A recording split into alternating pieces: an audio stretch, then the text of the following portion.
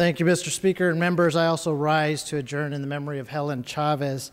I can tell you uh, personally, you know, Helen was an individual that was never one to grandstand or to jump on a jump on stage or be in the limelight, but she was definitely a force to be reckoned with. She was one of those individuals that would bring that common sense, um, like previous speakers noted, she would bring that just common sense and ask a question something that just drove to the heart of a debate. You know, I know when I spoke with her, she always had a quiet self determination about her.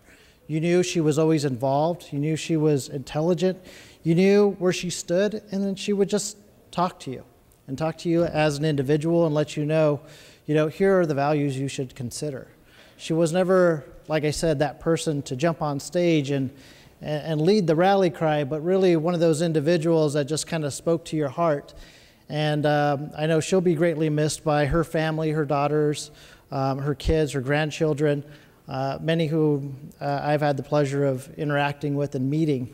Uh, but I know they've come a long way from when they had their house on Kensington Street in Delano.